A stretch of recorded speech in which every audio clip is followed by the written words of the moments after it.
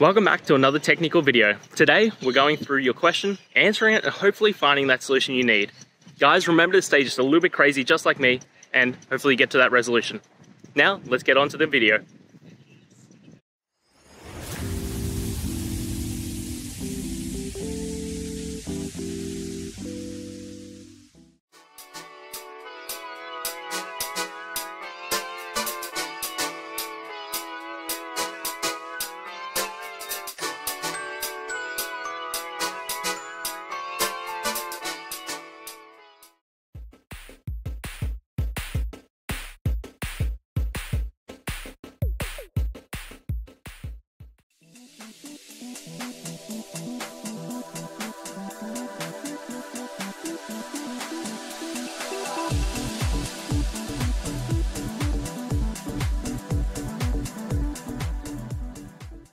And that's it guys.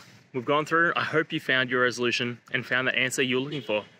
If it helped, please hit subscribe, really appreciate it. And be on the lookout for more technical help videos. Have a good one.